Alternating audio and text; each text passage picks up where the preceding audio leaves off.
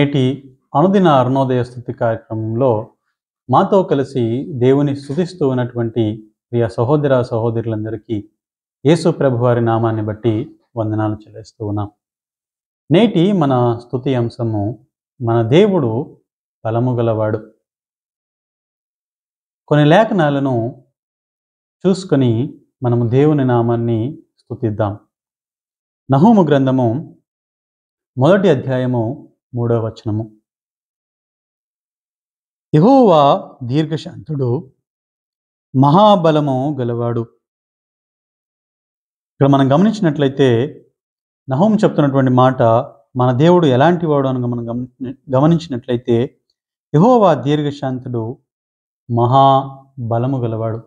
ఆయన గుణలక్షణాన్ని మనం జ్ఞాపకం చేసుకున్నట్లయితే ఆయన దీర్ఘశాంతుడు దీర్ఘశాంతం ఉండడం మాత్రమే కాదు కానీ ఆయన ఎవరు అంటే ఆయన బలము గల దేవుడు. ఆయన మహాబలము కలిగిన దేవుడు. ఇంకో వచనాన్ని మనం జ్ఞాపకం చేసుకుందాం. హెబ్రిలో రాసినటువంటి పత్రిక హెబ్రిలకు రాసినటువంటి పత్రిక నాలుగవ అధ్యాయము పన్నెండవ వచనం. నాలుగవ అధ్యాయము పన్నెండవ వచనం.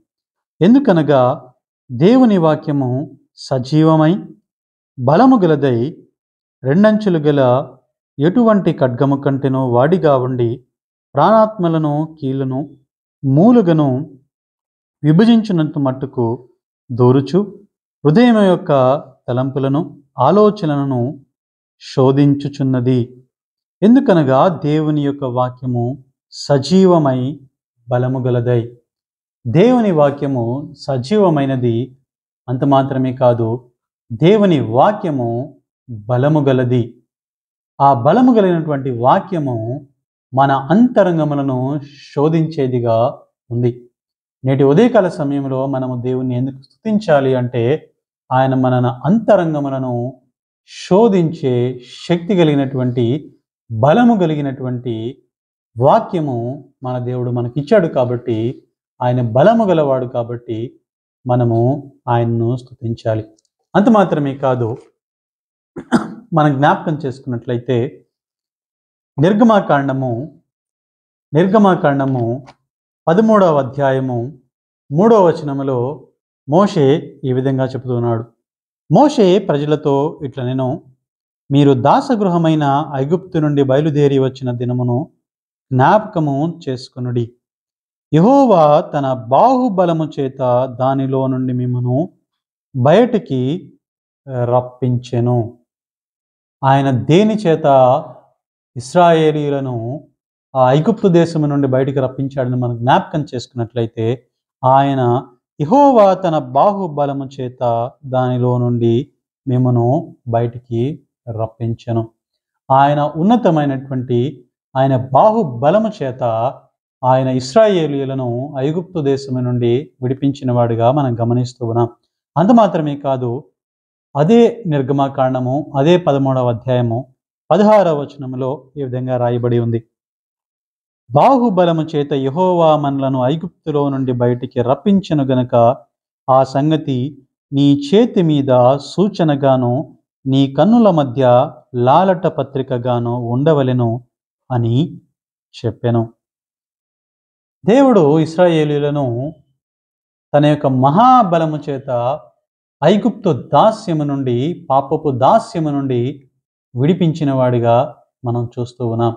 ఆ కారణాన్ని బట్టి ఉదయకాల సమయంలో మనము దేవుణ్ణి స్తుతించాలి.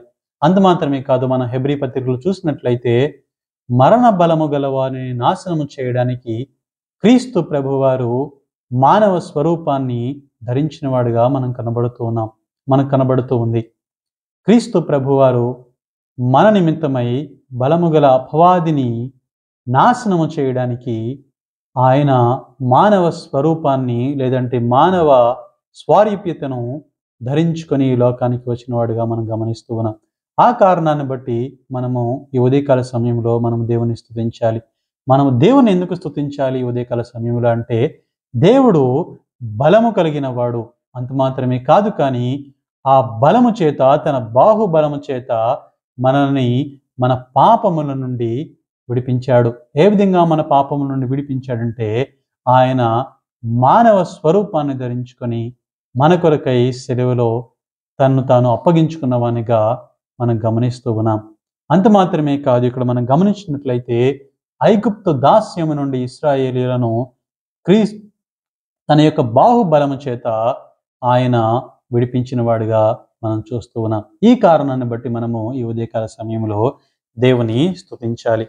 అంత మాత్రమే కాదు హబకకు ఈ విధంగా చెబుతూ ఉన్నాడు. ఏమని చెబుతున్నాడు మనం జ్ఞాపకం చేసుకున్నట్లయితే హబకకు మూడవ అధ్యాయము పంతొమ్మిదవ వచనంలో ఈ విధంగా రాయబడి ఉంది.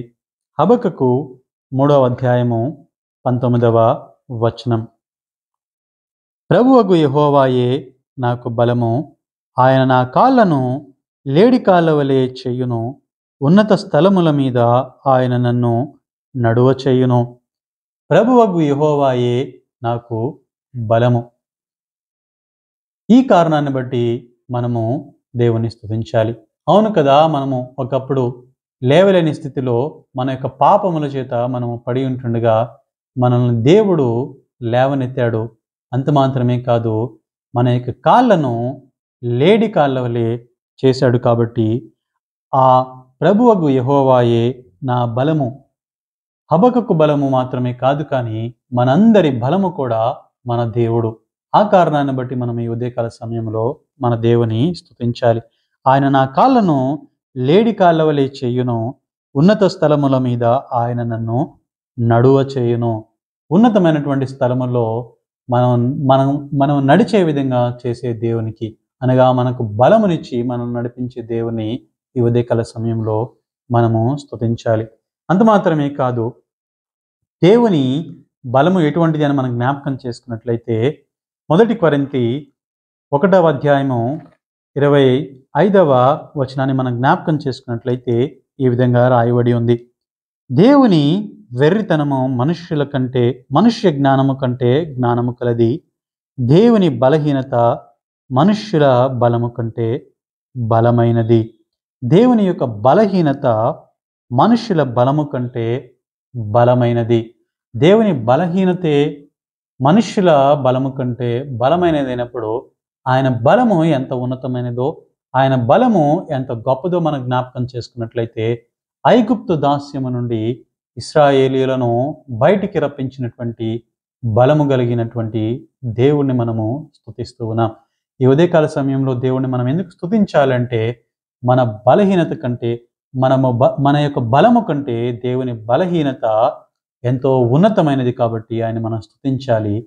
అంత మాత్రమే కాదు మన దేవుడు ఆయన యొక్క లక్షణం ఏమిటి అంటే ఆయన మహాబలము కలిగిన వాడు ఆయన వాక్యము బలము గలది. ఆ వాక్యము మన హృదయాంతరంగాలను శోధించేది కాబట్టి ఈ ఉదయకాల సమయంలో మనము దేవుని స్థుతించాలి అంత మాత్రమే కాదు కీర్తనకారుడు ఇరవై తొమ్మిదవ కీర్తన పదకొండవ వచనంలో ఈ విధంగా అంటూ ఉన్నాడు. ఇరవై తొమ్మిదవ కీర్తన పదకొండవ వచనం. యహోవా తన ప్రజలకు బలము ననుగ్రహించును. యహోవా తన ప్రజలకు బలమును అనుగ్రహించును మన దేవుడు ఎవరో అని మనం జ్ఞాపకం చేసుకున్నట్లయితే ఆయన మనకు బలమును అనుగ్రహించే దేవుడు. ఆ కారణాన్ని బట్టి మనము ఈ ఉదయకాల సమయంలో మనము దేవుని స్తుతించాలి. తృప్తముగా మనం విషయాలను మనం జ్ఞాపకం చేసుకున్నట్లయితే మనం దేవుని ఎందుకు స్తుతించాలి అంటే ఆయన మహాబలము కలిగిన దేవుడు కాబట్టి ఆయన మనం స్తుతించాలి. అంత మాత్రమే కాదు ఆయన వాక్యము బలము గలది కాబట్టి మనం మన దేవుని స్తుతించాలి. అంత మాత్రమే కాదు ఇట్టి బలము కలిగినటువంటి దేవుడు ఏమి చేశాడో అని మనం జ్ఞాపకం చేసుకున్నట్లయితే ఆయన తన యొక్క బాహుబలము చేత ఐగుప్తు నుండి ఇస్రాయేలీయులను తన యొక్క బాహుబలము చేత బయటికి రప్పించిన వాడిగా మనం చూస్తూ ఉన్నాం. ఈ కారణాన్ని బట్టి మనము దేవుని స్తుతించాలి. అంత మాత్రమే కాదు ఇటు మహాబలము కలిగినటువంటి దేవుడు మరణ బలము కలిగినటువంటి సాతాన్ని జయించడానికి సాతాను నాశనము చేయడానికి మానవుని యొక్క స్వరూపమును ధరించుకున్న కారణాన్ని బట్టి ఈ ఉదయకాల సమయంలో మనము దేవుని స్తుతించాలి. అంత మాత్రమే కాదు కానీ హబక్కుకు చెప్తున్నటువంటి మాట యహోవాయే నాకు బలము. యహోవాయే నాకు బలమును అనుగ్రహించు దేవుడు అని మనం కీర్తనలో జ్ఞాపకం చేసుకున్నాం. ఆయనే మనకు బలమునిచ్చే దేవుడు. ఆయనే మన కాళ్ళను లేడి యొక్క కాళ్ళ వలె చేసే దేవుడు. ఆయనే మనను ఉన్నత స్థలములలో నడిపించే దేవుడు.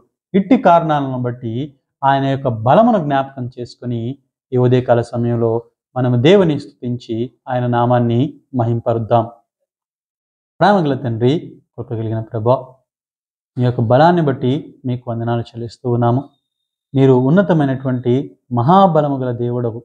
అందును బట్టి మీకు స్తోత్రములయ్యా.